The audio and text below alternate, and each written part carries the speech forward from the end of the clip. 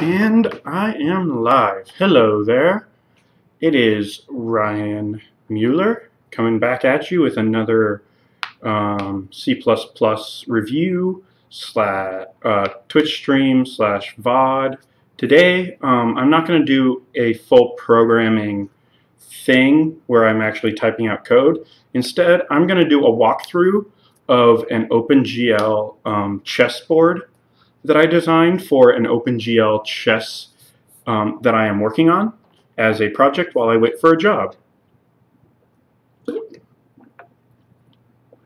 So I'm going to do the code walkthrough of what I have so far, how it works, and then I'm going to demonstrate what it is. We're going to start with the window class. So this is a window class file. Um, it reads very similarly to a lot of other class files in C++, which how they read. You need to make sure you have your defines or your pragmas. And then after our normal includes, we, are, we start by including glut.h, which is a window, which glut is a very unique thing to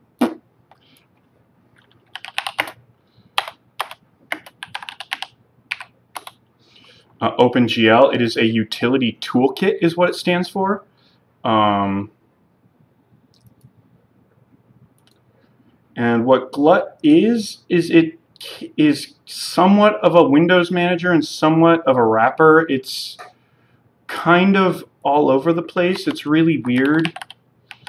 I'm not, I'm just learning about how it works, so defining what it is right now is a little challenging, but glut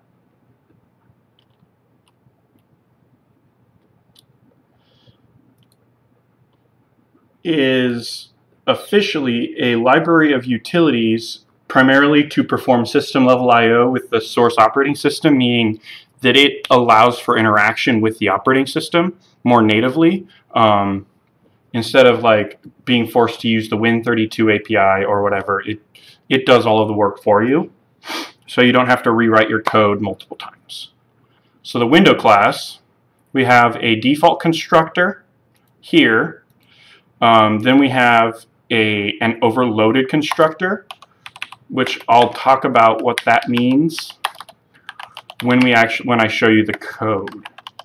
But what the constructor does is it it checks for certain parameters and it sets parameters. So the initial constructor is going to have a have base parameters, and then this is going to overload those parameters with whatever we pass in. Initialize is the function that creates the window, and these exist for a specific reason um, that I will get into when we get there. Buffer width and buffer height are currently, um, they are held variables for when I continue um, the program for when the game is designed because the difference between window width hit window width and window height and buffer width and buffer height is window is the entirety of your screen. If you imagine like when you're looking at like a Google Chrome oh, the window width and window height is from the literal top of where the Chrome is all the way down to the bottom. A buffer is what you can see so a buffer here would be everything from the file all the way down to this, all of this stuff down here in uh, Visual Studio Code.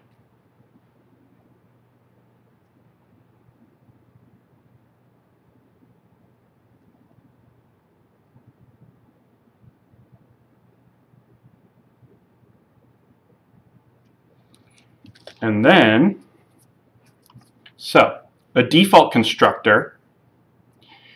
The default constructor is just going to create an 800 by 600 window. Um, that's in pixel size as um, if you did not know in programming, anytime you see pixels, it's in pixel size. So a 1920 by 1080 monitor is 1920 by 1080 pixels. Then the overloaded, we pass in what we want these to be so that we can make it more scalable. Initialize what we do, um, we create an initial window size of width and height. We set the position relative to the operating system window, and then we name the window with the glut create window. We clear the color of the window and set the alpha channel to zero, so this creates a white. And then what we do is we set everything to black and point size um,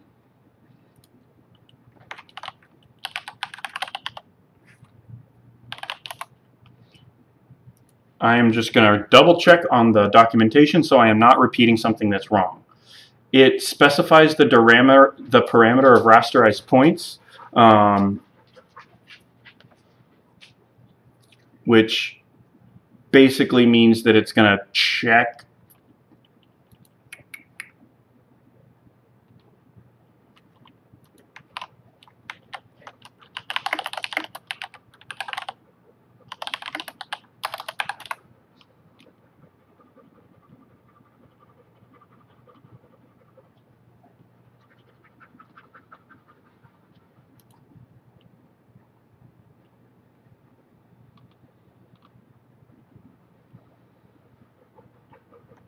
Yeah, so it's just checking to make or for the points, and it's um, setting a specific point size. Um, then we initialized our display mode to a single display um, with RGB values with no alpha channel.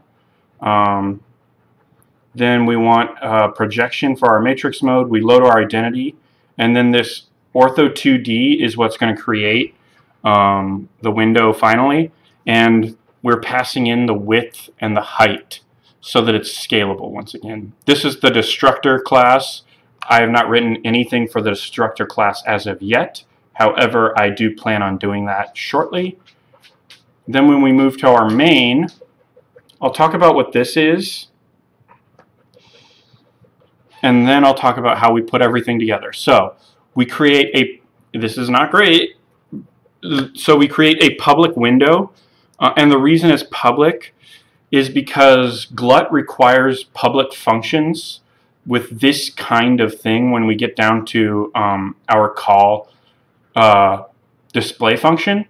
It requires a void as a parameter, which is really weird, but it's okay. So then we're going to clear the we're going to clear the buffer. We're going to set everything to zero. And then what these two variables are are the difference in x and y for a tile. So if you imagine a chessboard as an 8 by 8, what we want to do is we want to make sure that um, we are getting 8 pixels high, or 8 wide and 8 high. Um, so it's going to create ultimately an 8 by 8. And then what we're going to, then from there, we're going to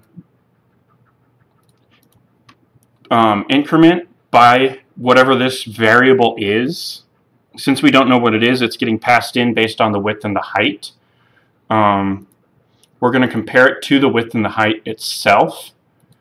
And then this is a bit operator. It's checking if x and y um, has a remainder of 1. If it is, we set it to one color. Otherwise, we set it to the other. In this case, it's a white, it's an off-white and, and a light gray and a darker gray and then we draw that tile on the window. Let me close that so I can give a better walkthrough here. All right, down here. This is going to look a little new if you've been following so far. If you've been following my stuff so far, this is um, a. These are command line parameters. What that means is when we execute the program, we have to pass in certain things. So argc is the number of command line arguments we're passing in. Um, argv is a vector, is an array of characters for each command line argument, is what it's called. So, arg, so the first thing we do is if our arg count or argc is not equal to 3, we say, hey, there's an error. That way we don't get some really funky error messages, we don't want that. Otherwise, we initialize, do a glut init with these two things, and we need this reference here. And then we set our width and our height. Um, and then we create these two dummy variables. Um, the reason for that is more serialization, and it didn't like it when I tried to do this directly. So it just creates a little bit more serialization um, when we're passing things in. And then we overload our initial, we use our overloaded constructor um, on our window, on the main window we created way up at the top with the width and the height that we're passing in. Then we call the initialize function, and then we call this glut display function on our drawboard that I walked through. And then glut main loop is um, a glut main function that it just runs the loop as a main. And then if we ever get here, we just return zero. That's it. That's the class. I'll walk. So that is everything so far. And then I will show you what happens when it's executed. So I'm going to make, type a make. So it compiled without any warnings. And then I'm just going to type so you'll see when it's just that, that's saying, that's what I'm talking about with the command line parameters. We need parameters. So instead, let's say I go 800, let's say I go 1280 by 720. And what it does is it creates a board of that size.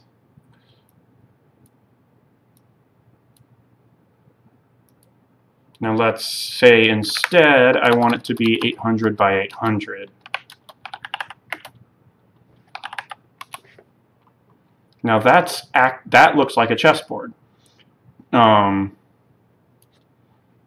and the reason the other one didn't was there's some funky things going on with our for loop so they so the window size currently has to be even there's there is a way that I'm looking into to change that, and what it's going to involve is going to be something called buffers, which I'll, which is what I talked about. So we're going to use buffers to make uh, the window screen a buffer, the game screen a buffer, and we're going to divide by that instead of by the whole size.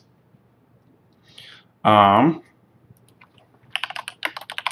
the last thing I would like, and then that's everything. That's all I have for today. Bye.